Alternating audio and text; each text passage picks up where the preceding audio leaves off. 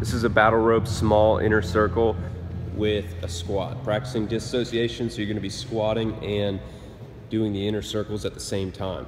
So start with the inner circles. You wanna keep your elbows in close with these small circles and then squat at the same time. So this would be as opposed to a big circle. You can show them big circle where you're adding in your shoulders to it and you're still squatting down at the same time.